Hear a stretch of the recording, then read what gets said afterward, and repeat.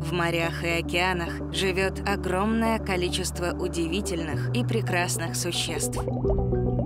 Рыба-лев, рыба-зебра или полосатая крылатка – безжалостный морской хищник. Он охотится на мелкую рыбешку, креветок, крабов и моллюсков, заглатывая их целиком. Необычная яркая окраска крылатки сигнализирует об опасности. В 18 иглах, расположенных на спине, брюхе и у хвоста, находятся ядовитые железы. Длина тела у рыбы около 25 сантиметров. Обычно она прячется в коралловых рифах и камнях. Трогать ее не стоит. Яд токсичен и опасен для человека. Морской дьявол или манта.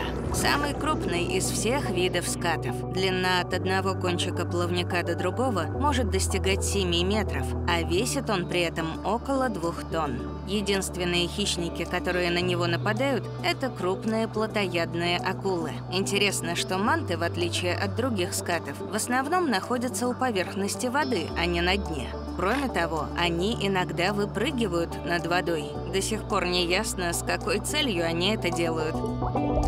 Пятнистые австралийские медузы – самые крупные среди других видов медуз. Средний размер их купола – около 40 сантиметров, но они могут быть и больше – до 70 сантиметров. Они ежедневно пропускают через свои щупальца около 13 тысяч литров морской воды, заглатывая планктон и мелких рыб. Их яд не может убить человека, но оставляет болезненные ожоги. Медузы – одни из самых древнейших существ на планете, которые мало изменились в процессе эволюции. У них нет мозга, крови, скелета, только глаза, органы равновесия и нервные узелки.